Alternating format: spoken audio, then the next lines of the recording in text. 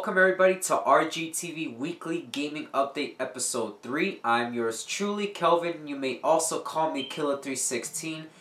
And before I start RGTV Weekly Gaming Update Episode 3, i like to say that I plan on uploading at least two or more videos every week from now on. One of them being RGTV Weekly Gaming Update, and the others being whatever else I would like to upload. So, let's get started. Number one, Batman Arkham Knight trailer. Whew! I have to tell you guys, I have another reason to get a PlayStation 4 now.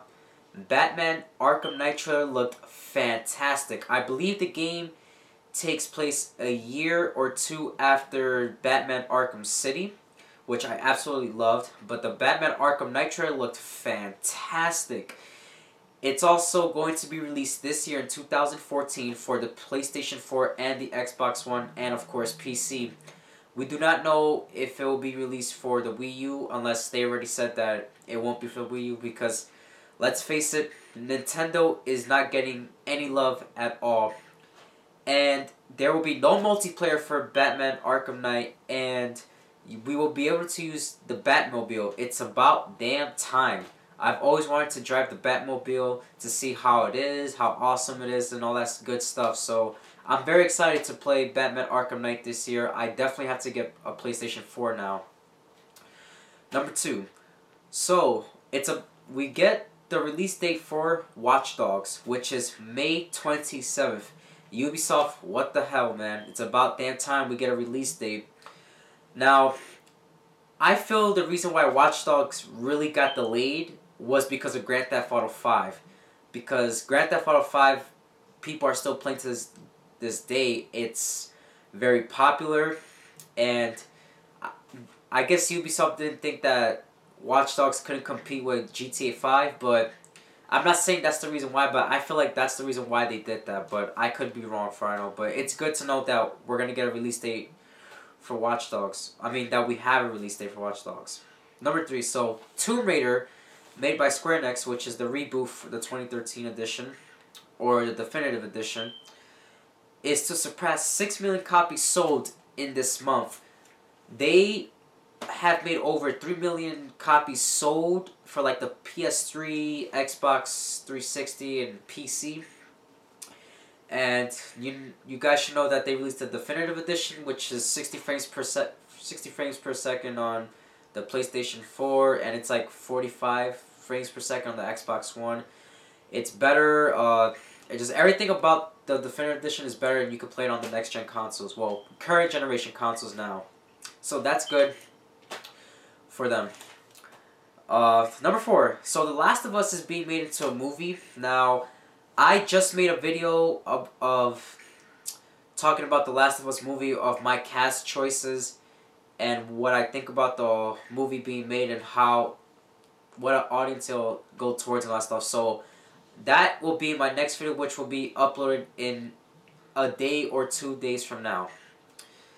Number five, Killzone is getting a DLC. Well, Killzone Shadowfall is will be called the Insurgent Pack, and the Insurgent Pack will include new character classes, three new abilities, three new weapons, and two new game modes. Well, Killzone Shadowfall is a game that I would buy personally for the multiplayer, but I do like the story modes for kills for the Killzone franchise, and Killzone is gonna be the game I play a lot when it comes to multiplayer wise, because I think that's one. Besides, there's Call of Duty, Ghost, and Battlefield Four, but those are not games I want. Killzone Shadowfall seems to be the only one that interests me when it comes to multiplayer purposes. Obviously, you'll get the Insurgent Pack for free if you have the Season Pass, or yet, or you have to pay for it if you don't have the Season Pass. Number six, BioWare has stated that they might make a remastered for the Mass Effect trilogy for the PlayStation 4 and the Xbox One. Now, this will be good for people that want to play the Mass Effect trilogy, but they do not know if they will do this. They're thinking about it, but they said that they will let us know if they will remaster the Mass Effect trilogy for the PS4 and Xbox One.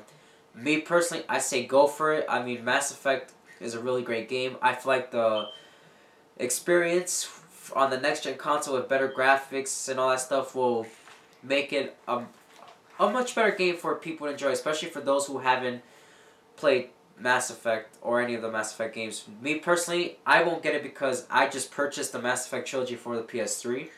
So therefore, why waste my money on that unless it comes with new trophies or something? Then it might be worth getting. Plus, I wouldn't mind playing Mass Effect again. I never played Mass Effect two or three, but I know those games are great because the first one was fantastic. Loved it.